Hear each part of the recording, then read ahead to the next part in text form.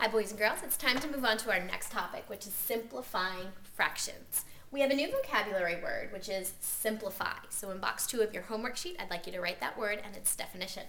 To simplify means to make an equivalent fraction using the smallest numbers possible. Now, how do we do this? How do we simplify? Well, you're going to be dividing the numerator and the denominator by the same number until you cannot go any lower. So let me give you some examples of how we do that.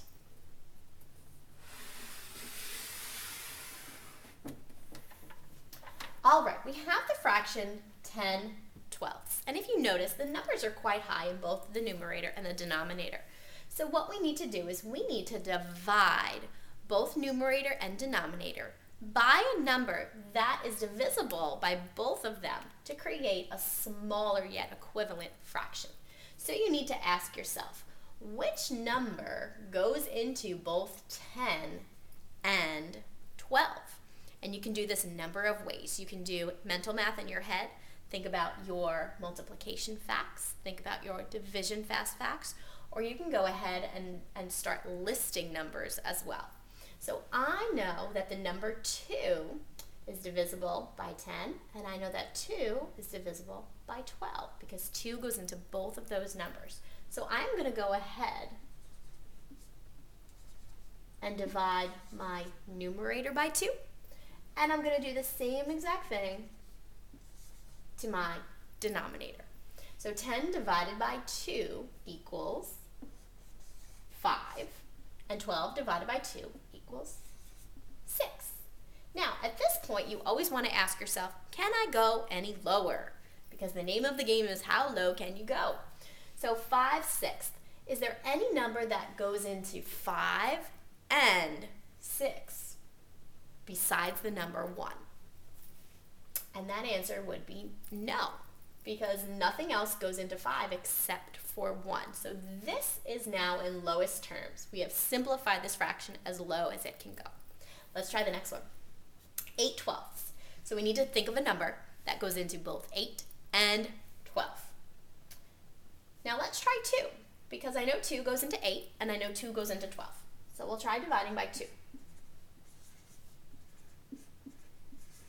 8 divided by 2 equals 4. And 12 divided by 2 equals 6. All right, so now I'm at 4 sixths, and I ask myself that question again. How low can you go? Can I go any lower? Is there any other number besides 1 that goes into 4 and 6? And that answer is yes. 2 actually goes into both of them as well. So I'm going to divide again. 4 divided by 2 equals 2. And 6 divided by 2 equals 3. So my simplified fraction in lowest terms of 8 twelfths is 2 thirds. That's the lowest equivalent fraction that I can get because I cannot divide by any other number except for 1 to make it go any lower. Let's try one more. 3 sixths. I need to think of a number that goes into 3 and 6. 3 can be divided by 3, and 6 can be divided by 3. 3 divided by 3 equals 1, and 6 divided by 3 equals 2. So my lowest term, simplest form of 3 sixths is 1 half, and I cannot go any lower than that.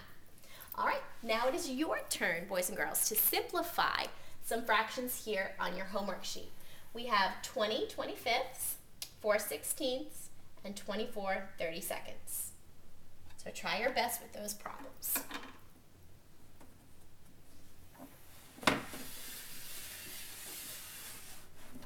And if you still have questions or comments or strategies, please make sure to put them in box number four of your homework sheet and we'll discuss them in class tomorrow.